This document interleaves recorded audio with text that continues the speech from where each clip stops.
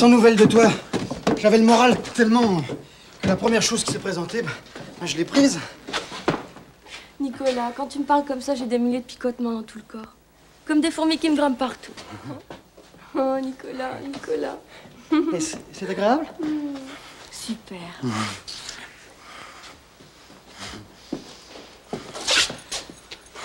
J'ai mis les clés. Là, voilà. Et ben voilà, on y est presque. Dépêche-toi. C'est plus qu'une question de seconde, hein. Embrasse-moi. Oh. Oh. Oh. Ah, ah, ah, comment ça va? Euh, Que je vous présente Christiane, une amie. C'est ma voisine. Oh, mon voisin. Euh, ben, ça, avant toute chose, je tenais à vous la présenter. Elle, elle est belle, hein Messieurs, dames. Ça va Madame. Et comment va le petit Il va, bien. Bon, c'est parfait. Et on se... Hein C'était c'était mes voisins. Tu verras, ils sont, ils sont très sympas et, et pas snob du tout, du tout. Hein. C'est... Et voilà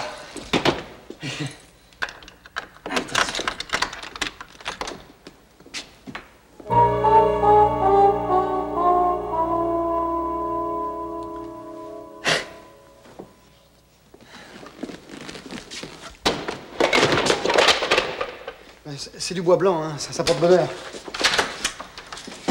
Tu, tu vois, au, au niveau décoration, j'ai rien, rien touché. Je préférais que tu me donnes ton avis. T'es super. Et puis tellement.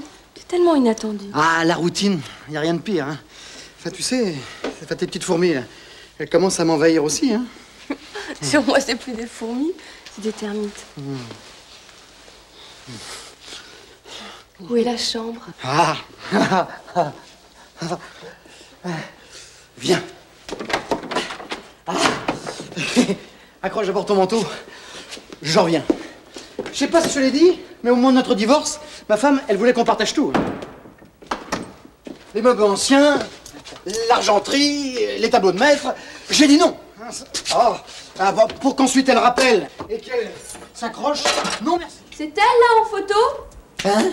Qui Là Ah bah non, ah bah non, ça c'est c'est c'est ma sœur. Ah, tu m'avais pas dit. Ah non? Ah bon? Bah peut-être pas, remarque. Vous ressemblez pas tellement. Non, non, non, c'est c'est parce que c'est ma demi-sœur. Oui, sa papa, il voyageait beaucoup, alors comme ça, au cours d'un de ses nombreux séjours euh, euh, en Australie. Elle vit là-bas? Oui. Si bien que on se voit pour ainsi dire jamais. Elle a épousé un autochtone, euh, six gosses, un ranch de 100 hectares. C'est bien simple, elle sait quasiment plus parler français. C'est terrible d'être séparé de ceux qu'on aime. Ah oui, oui. C'est pour ça que j'en parle pas souvent, parce qu'après ça me... T'es extra. Et en plus, tu joues du piano oui, je, je pianote, hein. Mais tu m'as vraiment tout caché. Et c'est peut-être pas fini.